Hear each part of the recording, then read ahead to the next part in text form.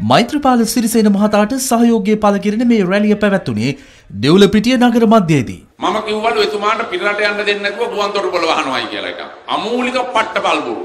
චේතිය බොරු මේවා.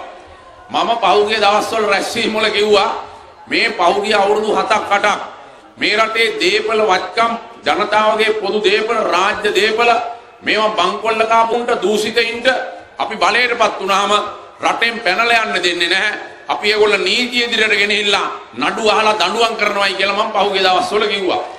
මම කිව්වලු එයාට රටෙන් පිට වෙන්න දෙන්නේ නැහැ කියලා හිටා.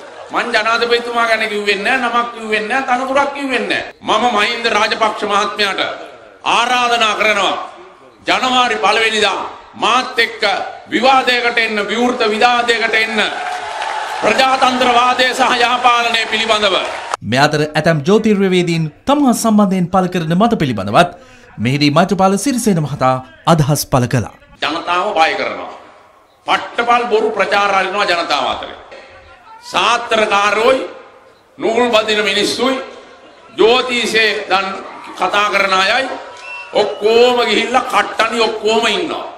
ඉඳලා හිටන් මගේ කේන්දරය ගැන කියනවා. ඔය කට්ටනි නූල් බඳින මිනිස්සු ජෝතිෂය ගැන කතා කරන මිනිස්සු ඔය ඔක්කොම කියන්නේ අමූලික පට්ටපල් බොරු.